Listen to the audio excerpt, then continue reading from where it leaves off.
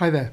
Now for part B of this question, we've got to show that the Cartesian equation for this curve C here is given by this x plus y all squared plus ay squared equals b, where a and b are integers to be determined.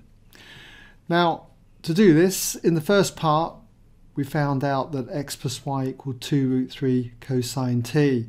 And all I'm going to do now is square both sides of this so that I can get on the right hand side here cos squared t and then I'm going to use a trig identity that cos squared t is 1 minus sine squared t and link it into this equation here for y and hopefully should be able to reduce it down to this form.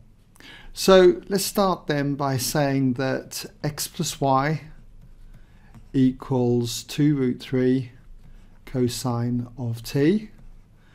And then if we square both sides, we then end up with x plus y all squared equals 2 root 3 when you square that, that's 4 times 3, so that's 12. And then you've got cos squared t. So now all we need to do is just pick up on the fact that cos squared t is 1 minus sine squared t and substitute this in, that y equals 2 sine t. So therefore what we've got then is x plus y all squared equals 12 times 1 minus sine squared t. And if I expand the bracket here, okay, we'll leave the left hand side the same, x plus y all squared equals, then we've got 12 here, and then we've got minus 12 times sine squared t. But we know that sine t is y over 2. So this is going to be y over 2 all squared.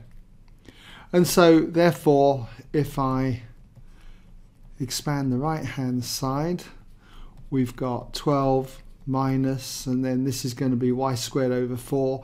So you're going to get 12y squared over 4, which reduces down to 3y squared. So we've got minus 3y squared.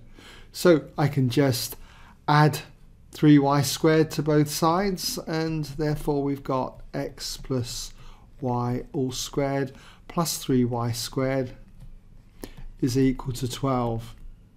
So I can see then that this is identical to x plus y squared plus ay squared equaling b, where a and b are constants, and I can finish off by saying where a is clearly 3 and b equals the 12.